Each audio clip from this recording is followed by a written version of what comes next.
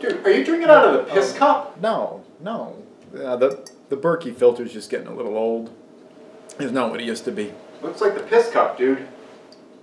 Oh. No. You're right. Yeah, this this is the piss cup.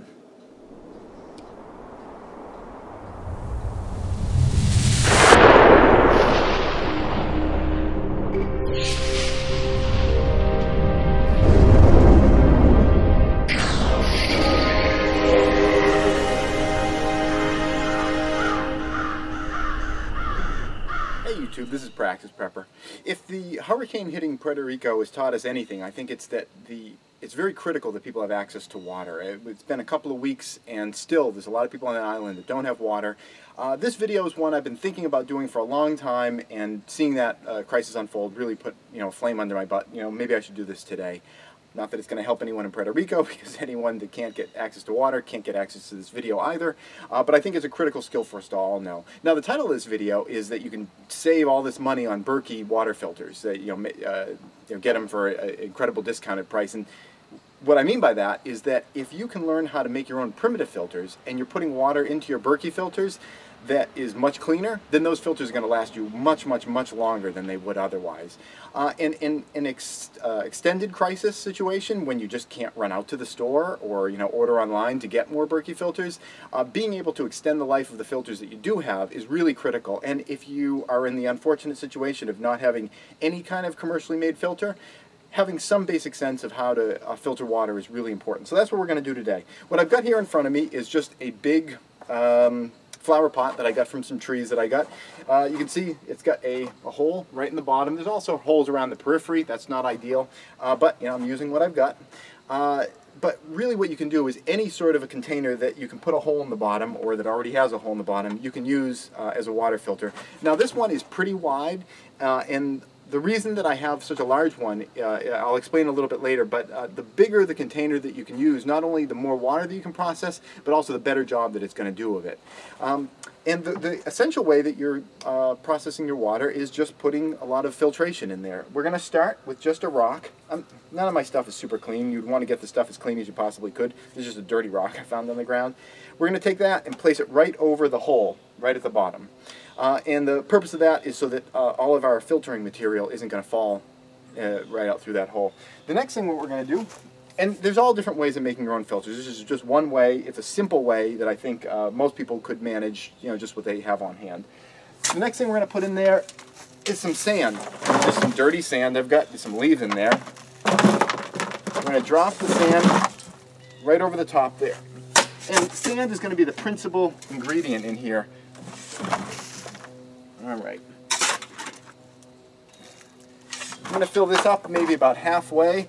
I've got some chunks of wood and some stones and things in here. Any of that stuff I'm going to throw out because that's not helping us do the filtering. Get a little bit more sand. All right. So now what I've got here is a bunch of sand on the bottom and I'm sculpting it to be kind of a concave pattern. And the idea is you want the water to be directed towards the center. And this gets to what I was talking about earlier about wanting a very large container. You want the container to be very wide so when you put water in on the top, it's not going around this uh, to the edges and then shooting right down the sides, circumventing all the filtration in the middle. What you really want to be doing is having this thing be wide enough so that you're putting the water in the middle and it's going straight down through the center of it and it's not reaching the sides and getting around those edges. So as wide as you can make it, uh, that's going to help you both in being able to filter a lot and also to prevent that circumnavigation of your, your filtration. The next thing we're going to put in is just some ash and I just shoveled this out of a fire. Now you want this to be ash from clean wood, you don't want to have pressure treated wood ash or anything like that. I'm going to take this and put a nice healthy pile of that right in the middle. Now if you could get activated charcoal or if you stock that, have that in your preps, that's a great prep. I have that in my preps.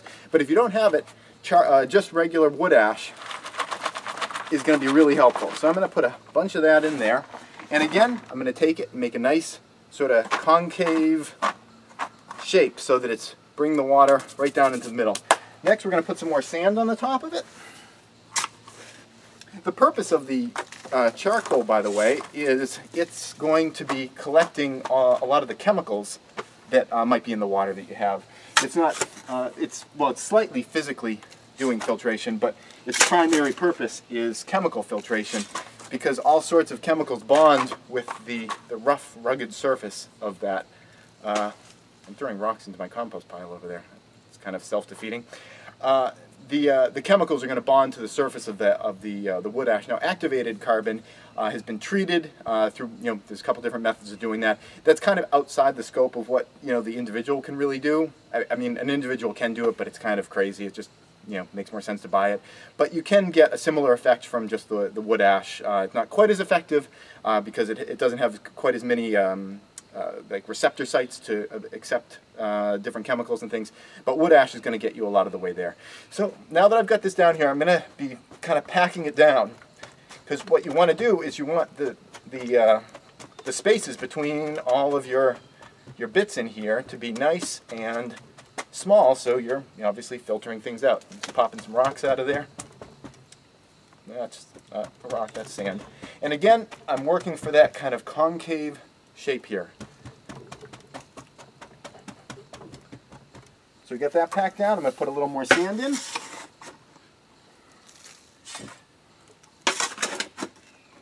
And this is just sand that I dug up from the ground with some clean fill sand from earlier. I think I'll put rocks back there. Those two rocks, yeah. Alright, getting these around, pull some roots out, little stick. Just packing it all down.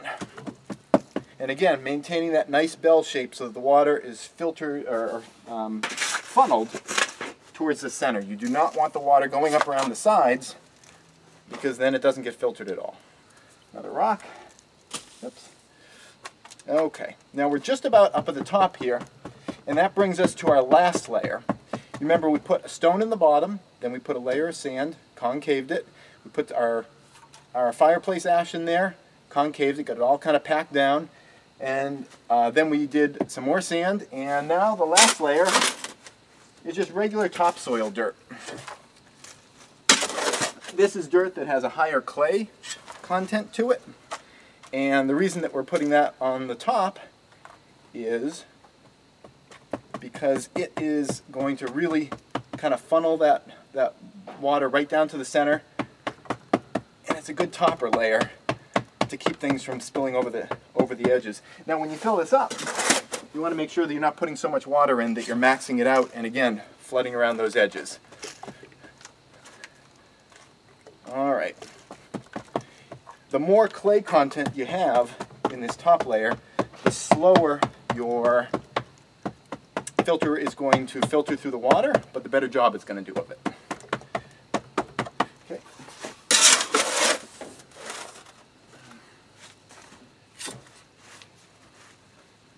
Again, if you're looking for clay kind of topsoil, you want soil that you can ball up in your hand, make a shape that, when it's moist and you know that that's going to have a fair amount of clay content to it. If it's really sandy or rocky soil, it's not going to maintain that shape. Alright, I think I've got a decent amount here. I'm just going to put a little more around the edges. Just to, again, make sure that my water doesn't run around and, and skip being filtered. A little millipede. Now, if you do one of these filters yourself in an emergency situation, it will make your water a heck of a lot cleaner. Would I drink water straight out of this thing if I had any other alternative whatsoever? Absolutely not. Uh, the water that uh, is coming through here could still have viruses in it. It could still have bacteria in it. The point of this filter is to get as much as possible out of there. If you did not have a secondary filter, um, like some kind of a ceramic filter, activated charcoal filter. If you didn't have something like that and you were just using this, you, at a very bare minimum, after you get the water out of this, you would want to uh, boil that water. Uh, just to kill any kind of bacteria in there. But this is a better than nothing kind of filter. And the water we're going to be doing today, I'll just stir it up here and get you kind of a, a close look at that. This is water right out of my fish tanks. Uh, this is the water that spills over. It's full of algae and fish poop and all sorts of other nastiness. We're going to pour this in and see how it comes out on the bottom over here. So I'm going to take this And again, no, I don't want to overload this filter, so I'm only going to pour in what can go right in on the top. It's pooling, which is just what you'd expect because there's clay on the surface. And that is about it. Now this water is starting to go through and it's going to saturate. Uh, it's going to saturate right down into here. I may need to get some more containers of this because it, it, may, it may not actually all go through. It may just wet what's in there. Uh, but I, I will just continue to fill this up until I get stuff out coming out the bottom and we'll just cut to see what that looks like. Well, the water's gone down a little bit. It's going through slowly. You know, look down below here, see if anything's come into the, the cup yet. No, not, not much. Actually, not anything yet. Uh, and when water does start coming through there, I'm anticipating that the water is going to be free of a lot of the algae and everything that we were trying to filter out, but it's not going to be free of other contaminants because this is a fresh uh, water filter. We've just put it together, and there's sediment and dirt that, that needs to be washed and flushed through this uh, the system. So when the water comes through, it's probably going to have a brownish color uh, because it's you know still going to have uh, you know dust and sediment from the dirt that we just put in there, uh, and that's normal and that's expected. Uh, what you would do in a crisis situation is you would build this unit and then just start putting the, the cleanest water you possibly can through it, and over time it'll start coming out cleaner and cleaner. I think it's really important to have all different approaches for solving uh, your your needs uh, and issues during, you know, well, through any part of your life, but especially during a crisis situation. We're in the garden right here, and this year it wasn't really a great year for my garden. It was mostly just through neglect on my part. I think this is probably my biggest crop, is just these, these grasses. I don't know if the seeds are edible. I'm not sure. Not familiar with them. Uh, I had some, some pumpkins did all right, and the fruit trees did really well because you don't really need to do anything for the fruit trees. You just they kind of do their own thing. Uh, and I got a, a killer crop of uh, peaches and apples. Uh, here's a peach tree right here, and they're oh these really wonderful peaches. I I love I love fresh from the tree peaches. Um, so these did really really great, uh, but a lot of the rest of it didn't. And and uh, for that reason, I think it's just an illustration of why it's so important to have uh, multiple uh, ways of getting anything done. Again, like just for ordinary life, but especially during a crisis, because if one thing doesn't work, you want to have some backups for that. And that's why we're talking about the water filtration today, because, um, you know, while you might be someone that has lots of, uh, you know, preparations, you may have all your, uh, you know, Berkey water filters all prepped, stacked, and ready to go, but you never know what's going to happen. You may have to bug out. Uh, you may have a house fire and the stuff gets destroyed. Um, it's just, it's always good to have some backup methods to do anything. And being able to build your own primitive water filter, I think, is a really critical skill that can really save people's lives in a pinch. And we're all done. And as you can see, the results are really crystal clear. I'm really quite surprised. Uh, normally, I said I would expect there to be some kind of brownish sediment washing out from the sand and the dirt and everything. I'm not seeing that in here.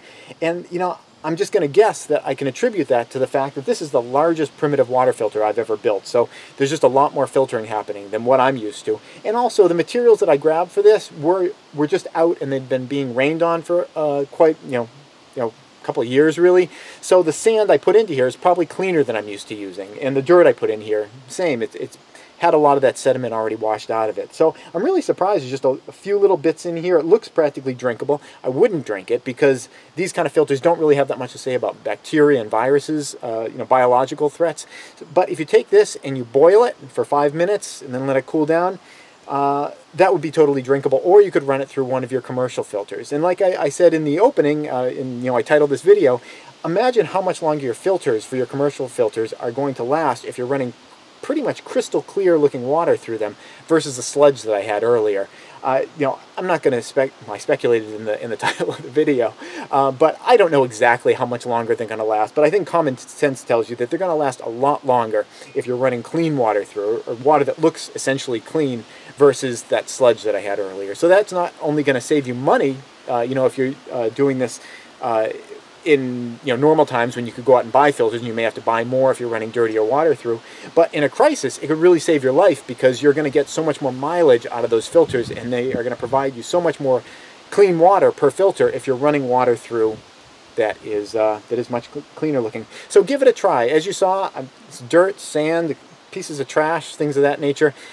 It's there's not that much to this and this kind of simple technology can really save a lot of people's lives if they uh, took the time to learn it. Or, you know, you just watch another ultimate knife, ultimate survival knife video. These are the kind of skills that save lives, though, I think. That's it. Thanks for watching. Please subscribe and tune in every Friday at 4.30 New York time for a new video.